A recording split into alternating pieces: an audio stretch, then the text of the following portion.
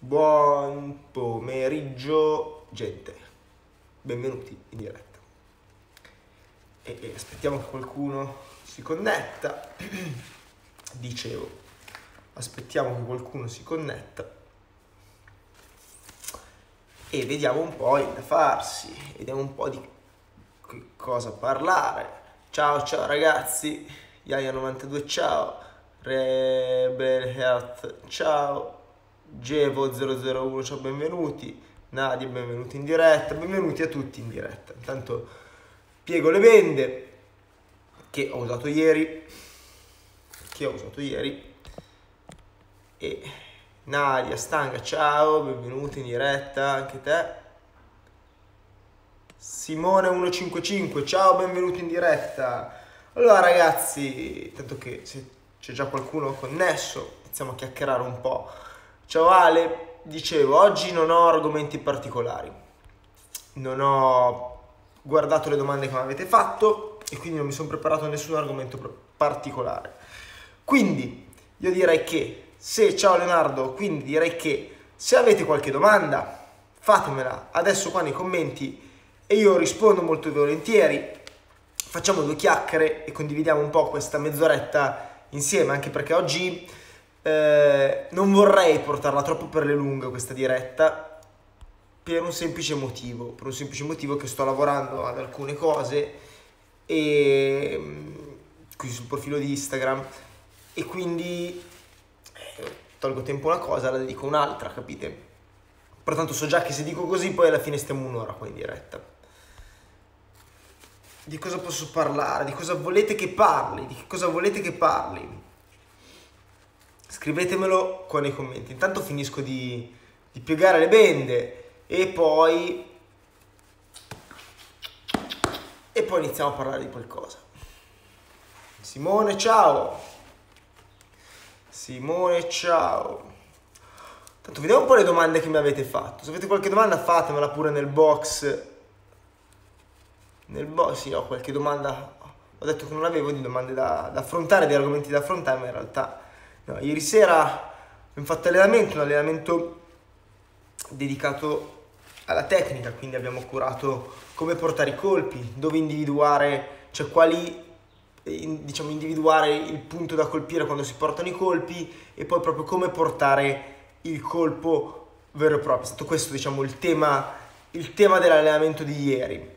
E, e è stato un tema interessante perché non è, non, è, non è, così scontato il saper portare il colpo, cioè molti portano i colpi a caso, quindi quando fanno sparring, quando fanno un sacco, eh, mi capita un sacco di volte di girarmi, guardare i ragazzi che fanno i sacchi e vedere che eh, smanacciano, fanno cose a caso e non è poi così utile, così funzionale questa cosa perché quando lavori al sacco dovresti secondo me metterci un filo logico, non è che porti colpo al sacco solo per fare casino, cioè a seconda del lavoro che vuoi fare, avevo detto che aspettavo un attimo a parlare, poi ho iniziato subito, a seconda del lavoro che vuoi fare eh, devi, devi allenarti di conseguenza, devi fare il sacco di conseguenza, ok? Fare colpi al sacco fa solo a caso, fare colpi al sacco a caso, ma anche nello sparring, fa solo casino, è importante eh, saper visualizzare che cosa vuoi colpire, che parte del corpo vuoi colpire del tuo avversario, saperlo fare nella tempistica giusta quando fai lo sparring, però comunque riuscire a immaginare, riuscire ad avere la testa di farlo anche mentre lavori al sacco a vuoto e poi di conseguenza applicarlo anche, ehm, applicarlo anche negli, altri, negli altri ambiti dell'allenamento, ok? Quindi il tema è stato un po' questo ieri, è stato proprio quello di eh, capire dove portare il colpo in una prima fase, la seconda fase è stata quella di capire come portare il colpo. Costerei 24 mi dice quante ore alla settimana ti alleni al sacco? Lo dico sempre ragazzi, mi alleno, eh, faccio tre allenamenti a settimana dove mi alleno da solo e, perfeziono, e, perfez, e perfeziono, non ce la faccio parlare, questo tipo di, questa tipologia di lavoro al sacco, eh, quindi un tre orette a settimana. Poi comunque non è detto che anche quando sono col mio team eh, lavoro, non lavoro il sacco, ad esempio ieri sera ho lavorato. Tendenzialmente comunque un 3 orette, 3-4 orette a settimana. Secondo te perché gli olandesi sempre, hanno sempre dato filo da torcere ai thailandesi? Mm, non è che hanno sempre, non è che tutti gli olandesi hanno sempre dato filo da torcere ai, ai thai. Alcuni, eh, come ad esempio Deckers, che è il più famoso, penso che tutti si riferiscono, che tutti riferisca a lui, che poi è quello che ha avuto più notorietà, diciamo così, eh, per quanto riguarda la Muay Thai uno si pensa alla Muay Thai, uno dei primi atleti che eh, stranieri del tempo che gli viene in mente sicuramente è Deckers. A me personalmente non piaceva il suo stile, anche se vabbè aveva uno stile efficace, eh, aveva dei cavolo di calci bassi, aveva una box molto forte e quindi aveva eh, era efficace, era efficace sicuramente e questo, e questo funzionava sui ring thailandesi dell'epoca. Funziona anche oggi, ma fondamentalmente io penso che la chiave di lettura, quindi per rispondere alla tua domanda è proprio questa, cioè avevano una forte pugilato, una forte box, delle forti mani con un'ottima chiusura di gambe e ha dato filo da torcere ai Thai perché era uno stile che all'epoca non era usato tanto, quindi li, li coglieva, diciamo, non dico di sorpresa, però non era uno stile, un approccio al combattimento come abbiamo oggi, ecco. Quindi ciao a tutti. Ciao Lorbuccia, ciao Giuseppe, ciao ragazzi Leonardo, grazie per i cuori, grazie Andrea Zecchi. Quindi, eh, ripeto Simone, secondo me il motivo, il motivo è proprio questo, sta proprio nel, nella, nella sorpresa, non nella sorpresa del singolo match, ma nella sorpresa del, del cambiare, del, della, diciamo della, di un approccio stilistico diverso da quello che si stava facendo in un determinato periodo, ok? Secondo me questa è la chiave di lettura, ma non è che tutti gli olandesi hanno dato del filo da torcere, da torcere ai Thai. Poi al giorno d'oggi, al giorno d'oggi se guardiamo gli atleti, eh, ci sono tantissimi atleti tantissimi atleti non Thai che eh, funzionano, che sono efficaci anche sui ring thailandesi. Guardiamo Youssef, Youssef è fortissimo. Ho dei capelli ragazzi oggi che sono pietosi, devo andare, dovrei andare da Paolo, da parrucchiere a darmi una sistemata, questa settimana prossima andrò, settimana prossima andrò. Dicevo ci sono un sacco di Thai, che, di non Thai che sono molto efficaci anche sui ring Thai. Dicevo poco fa, c'è Youssef ad esempio che lui è fortissimo, eh, poi vabbè c'è, mm, non mi viene il nome, il ragazzo che ha battuto Manachai eh, nell'ultimo match all'Umpino, adesso non mi ricordo il nome, lo so, eh, lo so ma non mi viene in mente. Vabbè, comunque. E poi vabbè, ad esempio l'inglese Agarty che ha battuto Semei, quindi ce n'è di, di non Thai che danno filo de, da torcere ai Thai al giorno d'oggi. Al tempo eh, era un po' diversa la cosa, la Muay Thai è cresciuta, la Muay Thai è cambiata e quindi di conseguenza e poi oltre a essere cambiata diciamo che al giorno d'oggi grazie a internet, grazie al web eh, è più accessibile è, stata, è diventata più accessibile a, tutti, non tanto la formazione, diciamo, quindi gli allenamenti, ma anche ma la conoscenza della disciplina, quindi si è iniziato a praticare Muay Thai in più, in più stati, in più posti e di conseguenza il livello è salito e anche fighter non necessariamente thailandesi eh, sono efficaci sui ring Thai. E poi comunque la questione di sviluppo della disciplina, la questione di crescita della disciplina è dovuta a tanti fattori, è dovuta al fattore, come dicevo poco fa, del web che ha portato la conoscenza, la, la conoscenza della disciplina in, in, maniera più, diciamo, in maniera più vasta, eh, è dovuto al fatto che ora per viaggiare, quindi spostarsi, andare in Thailandia ad allenarsi a combattere è molto, meno, è molto più economico di quanto si poteva fare un tempo, è più, non, non più economico, però è più accessibile, è più accessibile eh, già rispetto a dieci anni fa la Thailandia, ok capite? È una questione di, diciamo, di accessibilità alla disciplina fondamentalmente, secondo me. Eh? Wow, wow, wow, quanti in diretta? Alexi Debu, SD Torre, ciao Filippo Sparta, Giorgiana Capalau, Claudia, ciao. Hai visto la bilancia stamattina, malfidente che eri, e invece, e invece, in perfetta pesa. Potrei combattere domani. Anche se più tardi mi mangio il gelato e arriverò a 60, 70, 80. Se avete altre domande, ragazzi, fatemele. Che dicevo, oggi non sono... La bello Leonardo. dicevo, bello Leonardo mi chiede... Flavio fa gli occhi così. Sì, invece sono appesa.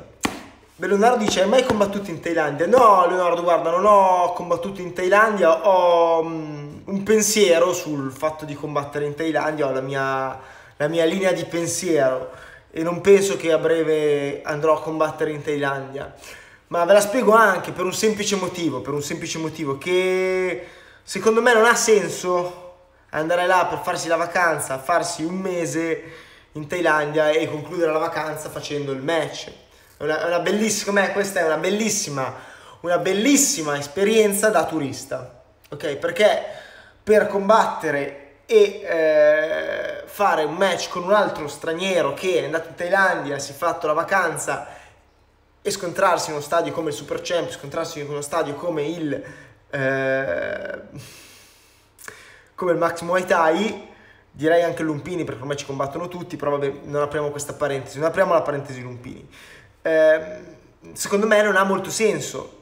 Un, un conto è il discorso cioè io sono più per il faccio un percorso, cioè non faccio l'exploit, faccio l'exploit non non mi torna non, mi, mi, torna ben poco indietro dal, dal, singolo exploit, del, dal singolo exploit di fare la vacanza e fare il combattimento, anche perché eh, per andare a combattere in Thailandia vuol dire che devo allenarmi eh, con un team nuovo, perché io mi alleno qua in Italia, mi alleno qua in Italia vorrebbe dire che devo allenarmi con un team nuovo che non mi conosce, non è che in un mese mi, eh, mi conosce. Ok, dovrei fare il percorso, un, co- un conto e dici, vabbè mi trasferisco, sto un anno in Thailandia e in questo anno faccio un percorso, faccio, determin- faccio, quindi faccio un percorso, faccio diversi match e le cose cambiano, è diverso che andare a fare il singolo combattimento. Non so se mi seguite, seguite il filo del mio discorso, ok?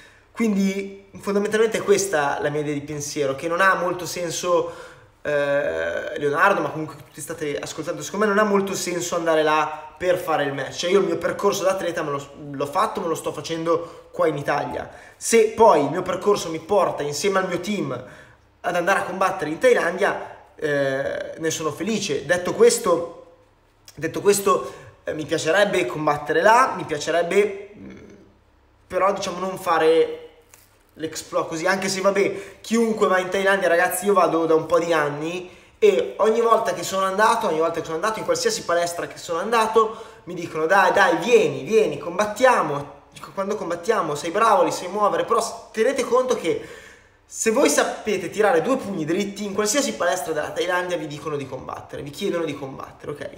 Ecco, potrei, se lo, potessi, se lo facessi, mi piacerebbe farlo come esperienza anche col, col mio maestro Thai, ma perché lo conosco da una vita, perché con lui, tra virgolette, potrei eh, fare un percorso, però mh, mm, non mi piace come cosa, cioè preferirei farlo col mio team, capite? Eh, è una cosa diversa, cioè anche se dovessi combattere col mio, col mio maestro Thai, si parlerebbe sempre di un percorso, cioè non, non sarebbe la cosa vado lì un mese e combatto fondamentalmente. Io sto, ripeto, sono più per il percorso piuttosto che per l'exploit singolo. L'exploit mm, vuol dire poco, per me vuol dire poco.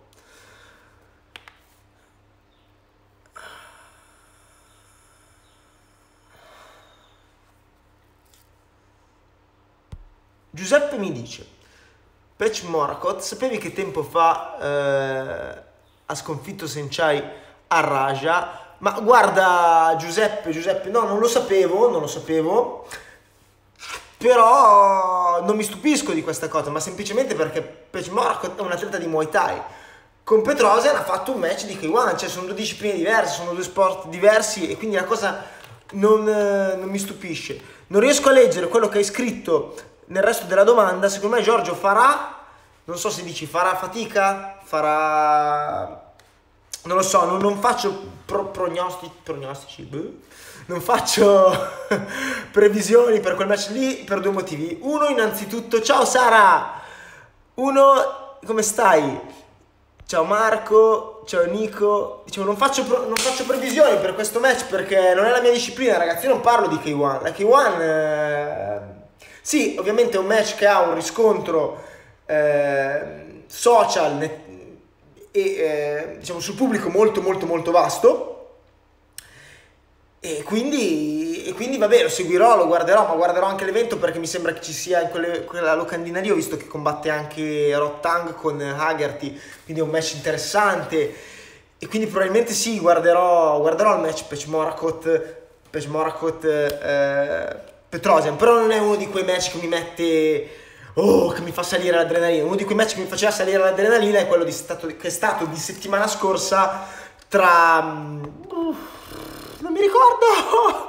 quello tra... Mm, mm, mm, Tawan Chai e Sangame. Quello mi è piaciuto. Poi il fatto che eh, Sangame è riuscito a... Wow, quello che Sangame, il fatto che Sangame è riuscito a ribaltare la situazione, a cambiare il verdetto rispetto al la volta precedente mi ha, oh, mi ha, mi è piaciuto tantissimo. Cioè, molti pensavano che avrebbe vinto ancora Tawan Chai perché è più giovane, più diciamo al top in questo momento. E invece Sangame si è dimostrato un atleta, l'atleta che è, quindi in bolla, eh, pulito, preciso, è riuscito a tenere alla distanza giusta Tawan Chai, che comunque è più alto, più leve, più lungo, quindi, oh, quindi ci siamo capiti. Dai, andiamo un pochino, un pochino avanti. LP 2008, Redone. Ma ragazzi, ma che nomi strani che avete. Io impazzisco con i vostri nomi. Enrique92, ciao. Agipalo, ciao Andrea. Uh, Enrique92 mi dice: Ciao Claudio, quanto si allena una agonista e cosa dovrebbe sapere prima di iniziare? Non so cosa intendi co- quando dici che cosa dovrebbe sapere prima di iniziare. Quanto si allena un agonista? Allora, un agonista secondo me dovrebbe allenarsi almeno 5 giorni a settimana, minimo, ok? Non dico di allenarsi due volte al giorno perché io non sono uno di quelli che professa la filosofia del ci ammazziamo eh, come delle bestie per fare un light. Ok, io sono quello del facciamo un allenamento in funzione di quello che dobbiamo fare. Perché teniamo conto, lo ripeto sempre per ogni diretta, ma ehm, a costo di diventare ripetitivo, a costo di, eh, di perdere due o tre visualizzazioni per diretta, non me ne frega niente, lo ripeto, ma voglio che sia chiaro il concetto, cioè le basi alla fine sono quelle, quello che ci portano lontano, quindi eh, ripeto questo concetto che per me è un concetto base. A seconda, a seconda del match che dobbiamo fare, a seconda delle cose che abbiamo in vista, ci dobbiamo allenare di conseguenza. Non ha senso tirare il collo come se dovessi fare un 5x3 per fare un light, ok? A fare un 5x3 senza protezioni come se dovessi fare un light col corpetto. Purtroppo un sacco di atleti lo fanno, ok? Lo fanno. Il, pecca- il problema è che se tu approcci questa disciplina come un percorso, eh, alla lunga eh, puoi avere dei problemi, anche perché ricordiamoci che siamo in Occidente, non iniziamo che siamo ragazzini, piccoli, bambini, ok? Iniziamo, siamo in Occidente, quindi la maggior parte di noi, la maggior parte di voi che mi segue inizia ad un'età che è già grande. Se tu stressi eh, il tuo corpo troppo per, eh, senza uno scopo, rischi solo di farti male, rischi solo di farti male. Cioè, se hai uno scopo davanti che può essere quello di combattere, che può essere quello di fare un match, devi programmare l'allenamento di conseguenza. Ragazzi, ehm, ricordiamoci, la passione senza una direzione, la passione senza una direzione è energia sprecata, secondo me. Quindi io, ad esempio, ripeto, ora che sono al di fuori della preparazione perché non ho match in vista, in questo momento io sto pensando solo a eh, mangiare, riposare, rilassarmi e divertirmi, poi in realtà non è vero perché sto, poi sto tutto il giorno davanti al computer a scrivere nuove guide, sto preparando un nuovo videocorso, però comunque in questo momento, in questa fase estiva di due mesi, il mio obiettivo non è quello di fare una gara, il mio obiettivo di fare una gara lo sa- sarà a settembre, a settembre rincomincio la stagione, eh, rincominciano le gare, quindi eh, risetto il mio cervello, la mia mente sul nuovo obiettivo. Ok? Detto questo, se domani vado in palestra, Fabio, il mio maestro, mi dice Claudio, guarda che ho una gara tra due settimane, due settimane combattiamo, boom, mi rimposto da zero e cambio tutto, capite? Quindi, per rispondere alla tua domanda, Enrique, scusami se ho, se ho travisato, però era giusto fare questa premessa premis- premissifera. Wow! eh, quanto si allena un agonista? Ripeto, si dovrebbe allenare 5 volte a settimana. Poi a seconda del match che devi fare, a seconda del match che devi fare, a seconda di quello che devi preparare, eh, imposti, imposti l'allenamento. Che cosa dovrebbe sapere prima di iniziare? Dovrebbe sapere che a seconda di quello che devi fare devi programmare un allenamento. Non va bene fare un allenamento uguale per tutti, ok? Perché io ho delle esigenze diverse dalle tue, ok? Tanto vediamo un po' chi si è connesso adesso. Manca le damace, ciao. Senek Petrosian, ciao, benvenuto in diretta. David mi dice ciao campione, ciao David, quando è che mi viene a trovare? David è stato una, forse la, David in pratica è venuto a allenarsi da me da lontano, è fatto un sacco di strada, è stato un po' di giorni eh, qui vicino dove vivo io per allenarsi con me, quindi mi fa sempre piacere averlo in diretta e averlo sul, sulla mia pagina. Francesco Pittai, ciao! Luca Tai, ciao!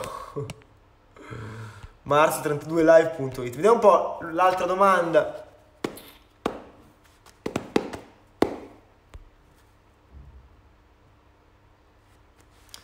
Pachi mi chiede, ciao Claudio, Oppa, stavo pensando di comprarmi una training jack, giacca della su...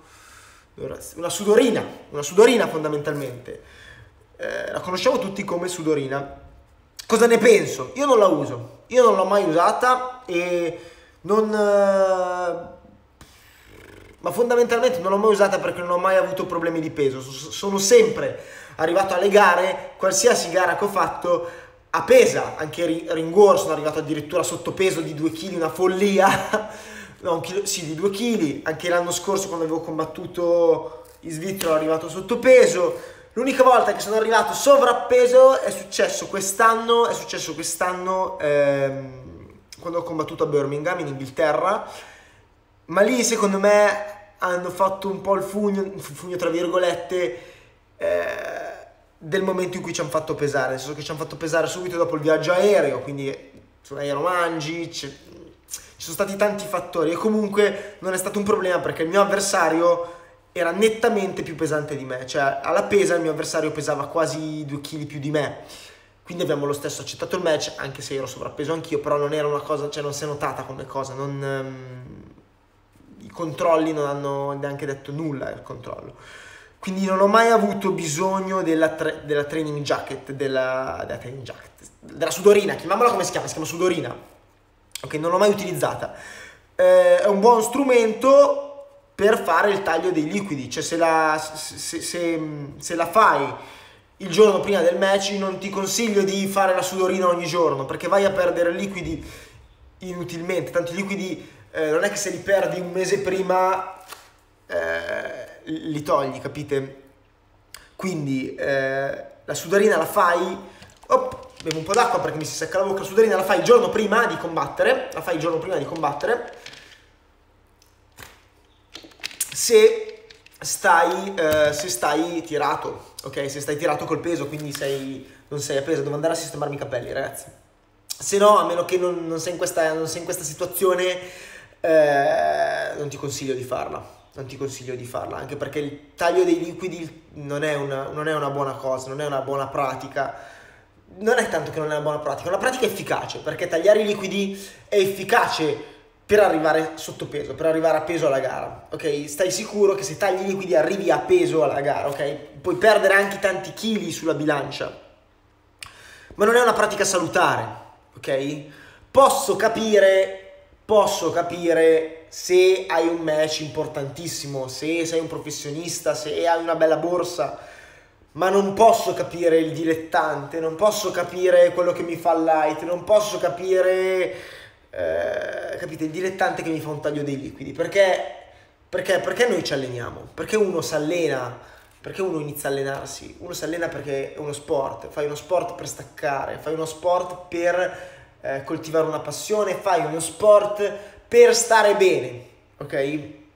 Poi, se sei bravo, se decidi di fare questo percorso anche come un professionista, quindi farlo diventare qualcosa di più, occasionalmente posso capire il taglio. Se no faccio fatica a capirlo perché vai a fare una cosa che non è salutare. Ecco, io questo è quello che penso riguardo al taglio, al taglio dei liquidi. Quindi cosa ne penso della sudorina? Sì, mm, io non l'ho mai comprata, ma la potrei anche comprare, cioè nel senso posso consigliare di comprartela. Sì, comprala se la vuoi comprare, e... però tieni conto di quello che ho detto poco fa. Wow, andiamo un po' avanti.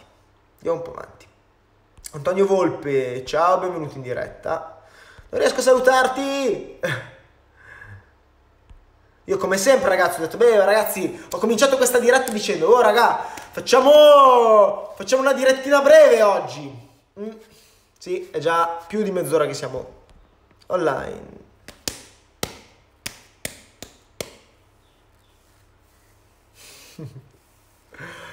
David dice, verrò molto presto a settembre. Ah, verrò molto presto. A settembre combra- combatti? Combatti, grande David. Dov'è che combatti che se riesco vengo a vederti? Mi sto mettendo sotto.